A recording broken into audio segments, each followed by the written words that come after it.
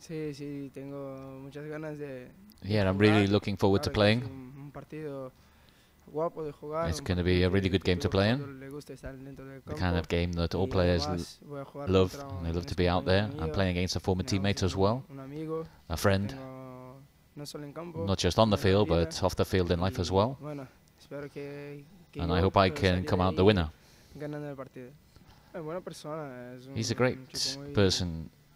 He's a quiet lad. He's very, very relaxed.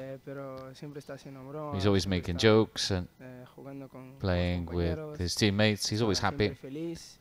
He's a great player. He's got the quality to play wherever he wants.